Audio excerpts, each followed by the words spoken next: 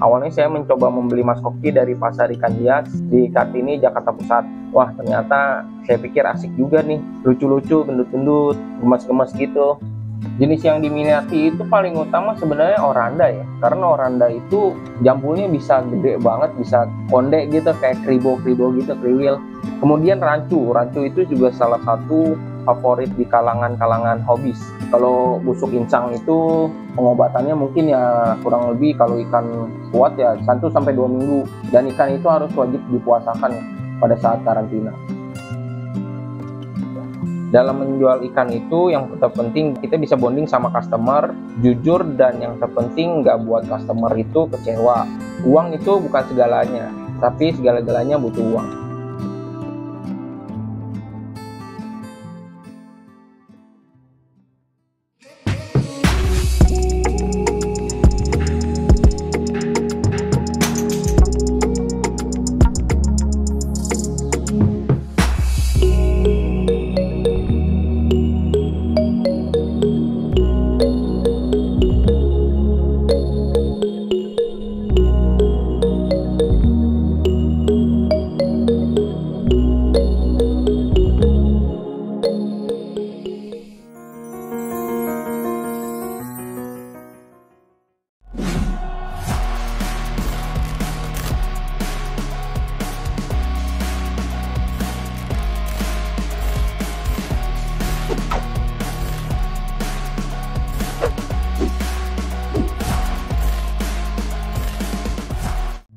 Halo, perkenalkan nama saya Willy Haryanto. Saya selaku groomer seller dari Will Godfish. Selain menjadi groomer dan seller Mas Koki, kesibukan saya saat ini menjadi di penjual toko material di kawasan Bojongsari Depok. Awal mula saya mengenal Mas Koki di tahun 2018. Kala itu saya masih aktif memelihara arwana super red. Terpikir oleh saya, kok bosen lama-lama ya? Akuarium hanya bisa isi satu ekor ikan saja. Lalu saya coba-coba lagi untuk memelihara ikan hias lain dan pilihan saya jatuh di Mas Koki.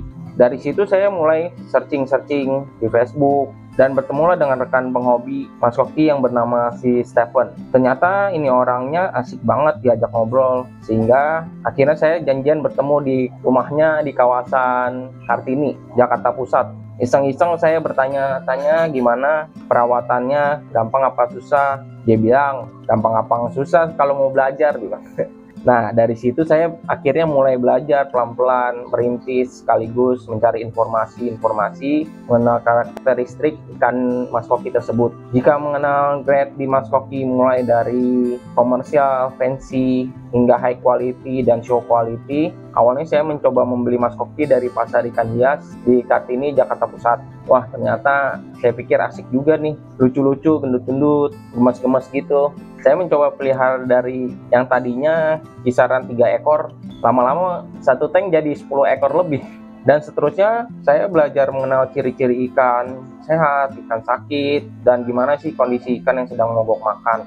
Saat itu saya berpikir lagi covid gini pengeluaran yang terjadi melebihi dari pemasukan nih. Saya bingung nih sekarang. Mulai putar otak gimana sih caranya bisa menghasilkan cuan dari hobi-hobi ini. Mulailah terpikir untuk saya membuat brand apa yang bagus untuk usaha ini. Dan pada akhirnya saya memutuskan untuk memakai nama Wild Goldfish. Diambil dari Willy nama saya. Sementara nama Goldfish untuk itu memudahkan orang mengenal kalau usaha saya ini bergerak di bidang maskoki atau goldfish. Masih berlanjut saya mencari informasi tentang cara packing karantina ikan dan grooming grooming grooming ikan. Awalnya saya mencoba memberanikan diri untuk packing ke teman saya si Stephen itu dan akhirnya lulus uji coba. Nah, lama kelamaan mulai ketagihan dan terbiasa nih untuk mencari aktivitas-aktivitas posting-posting di Instagram, di Facebook, sedikit demi sedikit mulai dilirik orang dan jadi pemasukan sampai akhirnya COVID selesai di tahun 2021. Di tahun 2022 dan 2023, saya memutuskan berhenti bermain mas hoki dalam artian tidak terlalu fokus karena saya berpikir bahwa pasar ikan mas hoki lagi turun-turunnya. Dan kebetulan pada saat itu rumah saya sedang direnovasi. Kala itu saya memutuskan untuk beralih ke toko material bersama kakak saya. Setelah renovasi selesai, di tahun 2023 saya memutuskan memelihara koi. Tadinya saya berpikir seru nih melihara koi nih, tapi kok lama-lama jadi bosen lagi. Dan pada tahun 2024, saya mulai merintis kembali ke Mas Koki dari nol sambil memantau kakak di toko material hingga akhirnya orang-orang mengenal saya sebagai hobi seller dan pemilik dari Wild Goldfish.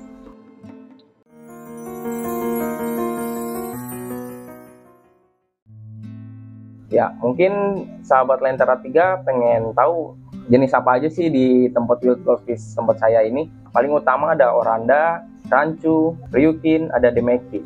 Uh, varian oranda itu ada long tail ada short tail ada rostel juga. Uh, warnanya berbagai macam jenis ya. Ada calico red white black atau white juga ada. Terus kemudian untuk varian ryukinnya kita cuma ada red white dan platinum. Dan ada brotel sama shortel kalau rancu itu banyak ya, ada black, calico, tiny tail juga ada, ada sapi-sapian juga ada. Mungkin kalau demekin ya, demekin paling cuma red white aja, cuma satu warna.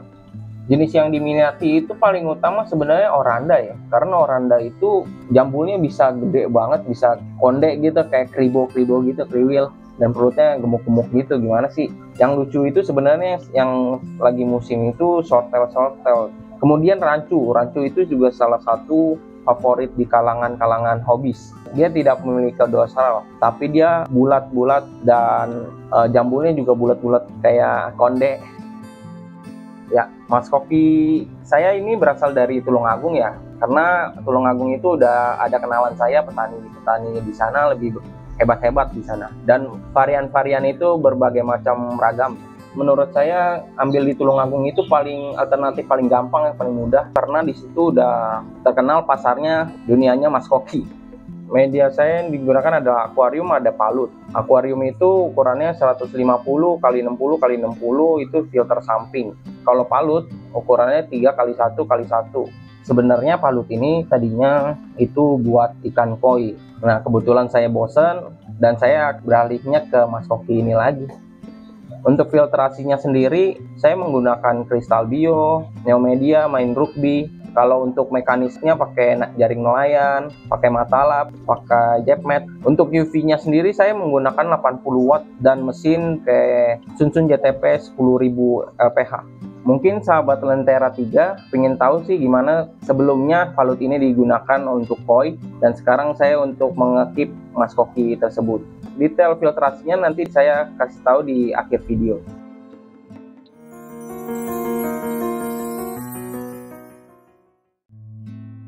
Kendala setiap kendala pasti ada ya. Namanya hewan hidup itu pasti ada kendala.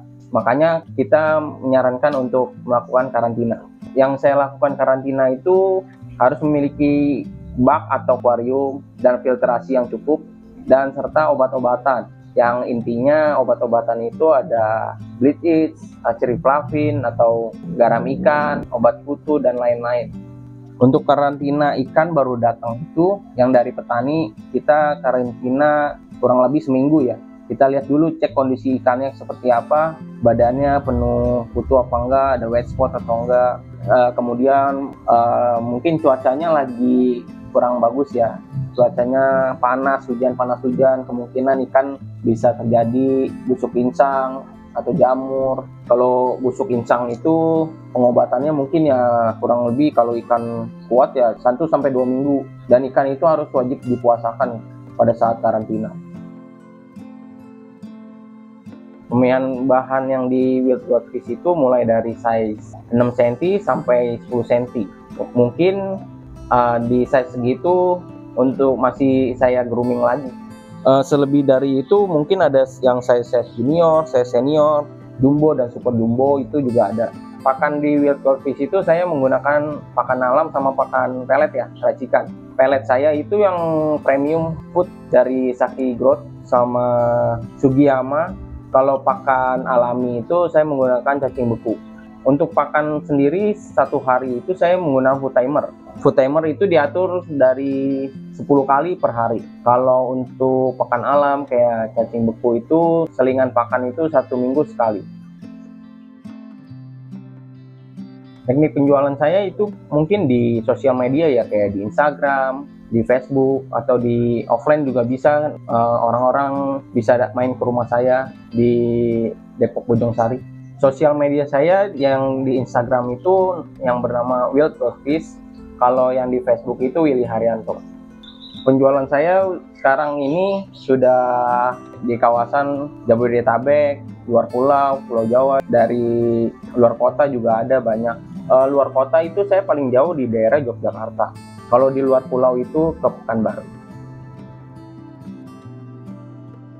Rencana ke depan Wild Goldfish, saya ingin menambahkan yang kualitas-kualitas lebih high grade lagi, lebih high quality lagi, mungkin bisa ke show quality. Harapan saya di dunia mas koki ini bisa makin berkembang, makin jauh lagi di atasnya, semakin jaya. Pokoknya breeder-breeder tetap semangat, Semoga bisa mencetak-mencetak ikan-ikan yang lebih berkualitas lagi, lebih bagus lagi. Dan pesan saya buat kepada sahabat Lentera 3 atau penonton yang mungkin mau memelihara mas koki ini, kita harus bisa memahami sistem filtrasinya seperti apa, airnya seperti apa. Karena pada dasarnya memelihara ikan itu artinya menjaga air. Jika kualitas air itu kita jaga, maka ikan yang kita pelihara akan sehat dan terjaga.